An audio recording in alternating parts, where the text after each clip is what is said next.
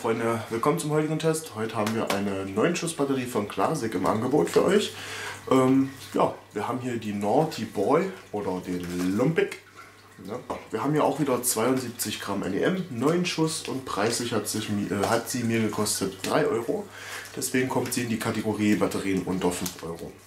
Ja, ansonsten gibt es nicht viel dazu zu sagen. Sie hat 20 mm Kaliber. Ne? Und ja, NEM haben wir schon geklärt. Alles weitere sehen wir draußen, wie die so ist. Äh, hat übrigens auch einen Standfuß unten, falls man das so sehen kann. Da. Weil kleine Batterien haben natürlich die Tendenz umzukippen beim Schießen. Ne? Also Freunde, bis gleich draußen zur Zündung. So, dann testen wir noch hier den Lumpig.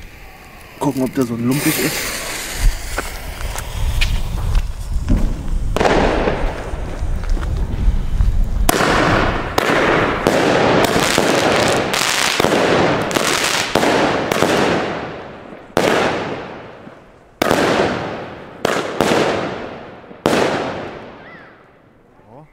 Die letzten zwei Schüsse waren eigentlich schön.